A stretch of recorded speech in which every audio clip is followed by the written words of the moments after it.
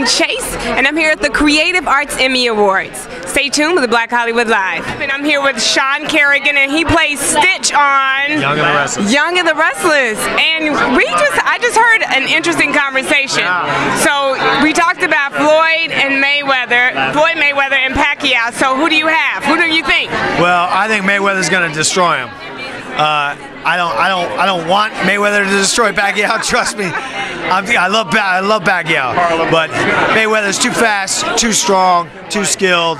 And uh, you know, Pacquiao's he's, he's he's had too many wars. He's had too many battles. I used to be a pro boxer myself. I was gonna you you beat me to the punch because okay. I heard you say that. Now tell me about your background as a boxer. Uh, I grew up I grew up in an Irish family, and that was what we did. My dad was an ex-fighter. All my brothers were boxers, and it's what we did. You know, I fought in the amateurs, uh, won the Golden Gloves three times, and then I turned pro, and I fought professionally for a couple years before I started being before I became an actor.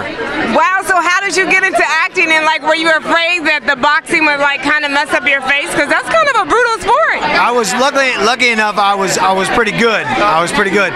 What's up, man? Hey, how are you? Hey, what's going on, dude? Sorry, I gotta say what's up to my I homeboy. love it. I love you. Hey, so. Uh, you know, I, would always in high school. I'd always, I would always been. I had in high school. I'd always been involved in drama, but I was a boxer and wrestler, and those are my sports. And so I always knew that I wanted to go back into acting, but I wanted to, I wanted to take a shot at boxing first. And so I fought for a couple years. My fights were getting pretty tough, and so as my fights got tougher, I was like, you know what, I'm gonna quit while I'm ahead and uh, and then I started acting 14 years ago. Wow, so you've been acting for a minute. Yeah. And now, who is like your favorite fighter? Because you kind of sound a lot like Muhammad Ali, because he wanted to stay pretty, fight like a bubble, yeah. bubble bee, sing like a bee. What was his saying? What was your saying while you were boxing? When I was boxing, my my, my, my fight name was Sean the Sledgehammer Carrigan.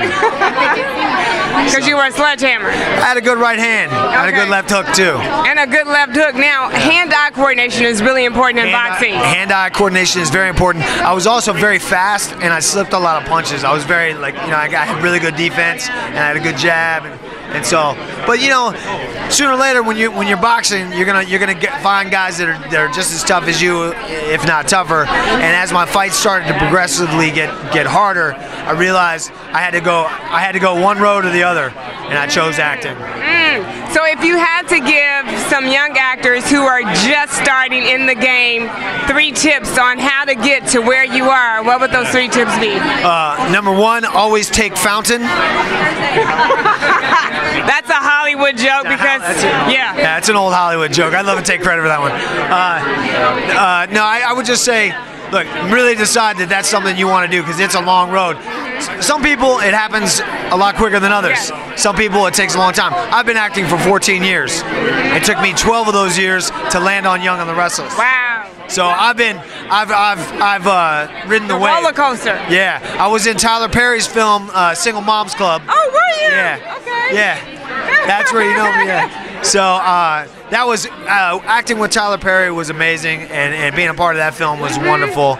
Um, wonderful cast, and uh, you know I really enjoyed the movie. So, but I got that. I, I, I, shot that movie right before I got Young and the Restless. Oh, that's excellent.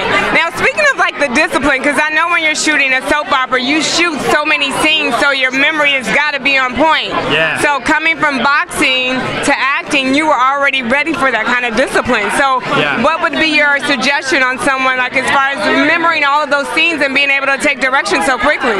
My my my, my advice would uh, to any actor or anybody that's getting in this business do your work. Do all the work. Don't leave anything on the table.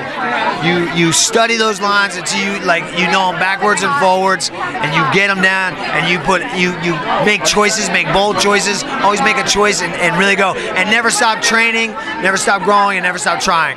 That's from Sean Carrigan. Stitch on Young and the Restless. Tyler Perry, he's the man boxer. May 2nd, I got see what happens May 2nd. I'm Madison Chase. This is Black Hollywood Live. Thank you for staying tuned. Find me on Twitter at one Madison Chase Fit.